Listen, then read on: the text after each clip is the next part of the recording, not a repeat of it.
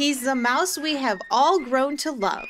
Mickey Mouse has now entered the public domain with his very first cartoon, Steamboat Willie from 1928.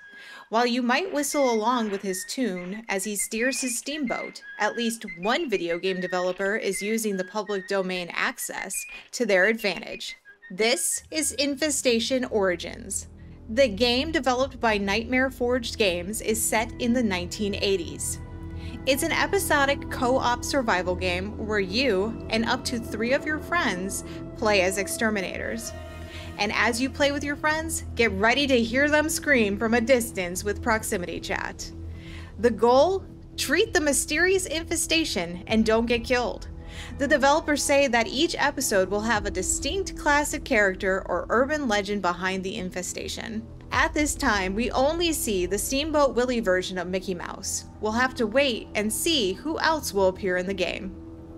From what we know, the developers are using an unpredictable AI and randomized item layout to keep the gameplay dynamic for gamers. Progress through the game by gaining experience, perks, item drops, and other unlockables. Infestation Origins will be available on Steam with a planned early access release this year. Until then, you can watch the iconic Steamboat Willie cartoon here on Local Now. Just type the title in our search bar.